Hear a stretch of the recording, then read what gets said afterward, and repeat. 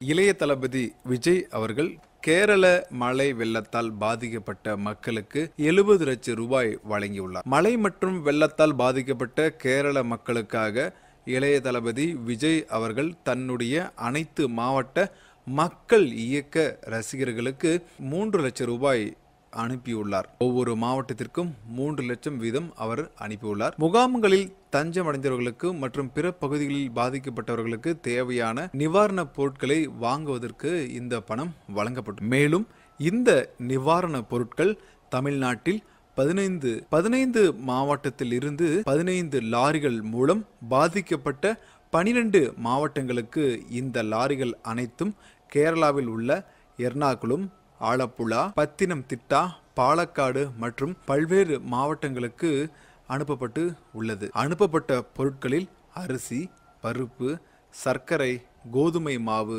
ரவை மைதா ஆடைகள் போர்வைகள் குழந்தைகளுக்கு தேவையான ஆடைகள் என அனைத்தையும் அனுப்பியுள்ளனர்.